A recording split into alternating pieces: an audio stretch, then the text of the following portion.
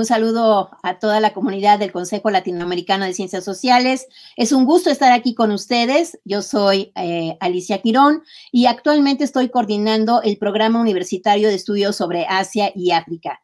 Este programa fue creado por decreto del rector de la UNAM hace cuatro años, el primero de mayo del, 2017, y tiene como objetivo hacer una relación especial y profundizar los estudios de Asia y África en nuestra universidad.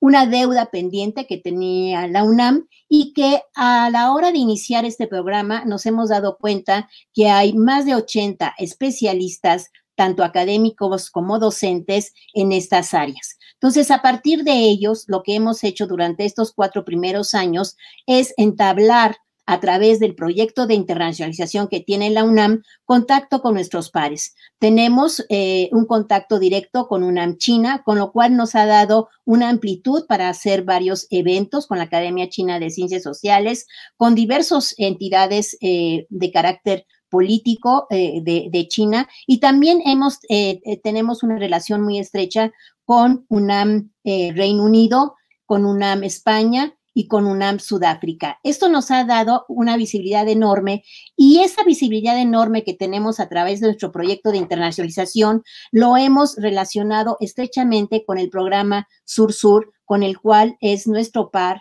eh, como entidad del Consejo Latinoamericano de Ciencias Sociales. ¿Qué es lo que estamos intentando hacer? No solamente hicimos, eh, eh, diríamos, durante estos cuatro últimos años, sino que estamos proyectando continuar nuestra relación con Claxo, es crear una mayor relación de nuestros académicos con los académicos especialistas que tiene toda la red de Claxo. ¿En qué sentido?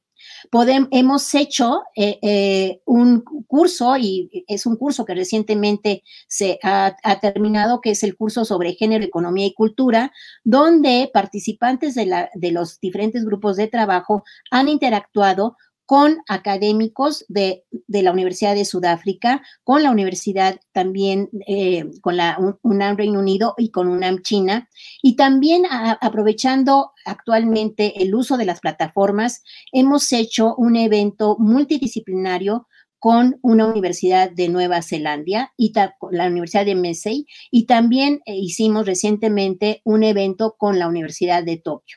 Esto eh, ha permitido tener una mayor amplitud y seguir de alguna manera los objetivos de desarrollo sostenible de la Agenda 2030. Un evento que ha sido maravilloso y que lo hemos logrado a través de, de, los objetivos de la misión y visión que tenemos es el evento que se hizo a través de la Embajada de México en Arabia Saudita, que fue sobre la importancia de las mujeres no solamente en el G20, en su trayectoria como feministas revolucionarias, sino también como feministas empresarias. También hemos tenido encuentros con la Universidad de Delhi, con eh, una feminista muy importante de Oman. O sea, si bien el género es parte de esta construcción que estamos haciendo de acercamiento a los estudios del sur global.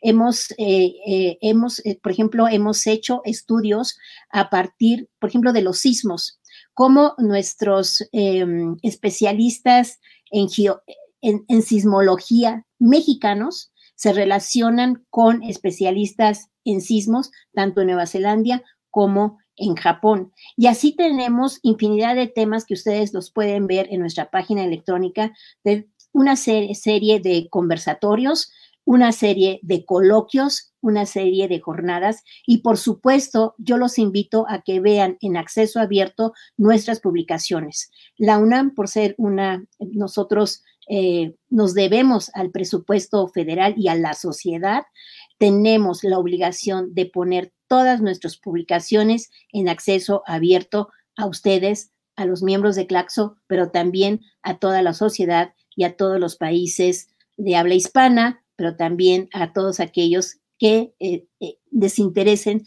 los estudios de Asia y África y también en su relación con América Latina y México.